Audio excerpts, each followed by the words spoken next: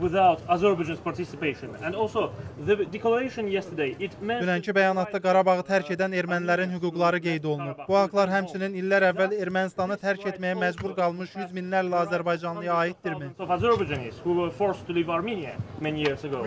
We, we had a very good debate yesterday with Biz dünən bir bəyanat qəbul etdik. Mən ayın sonu üçün Prezident İlham Əliyev və Baş nazir Nikol Paşinyanı görüş üçün Brüsselə dəvət etdim. Biz Cənubi Qafqazda davamlı sülh və sabitlik üçün çalışmaq istəyirik və bu anlaşılandı.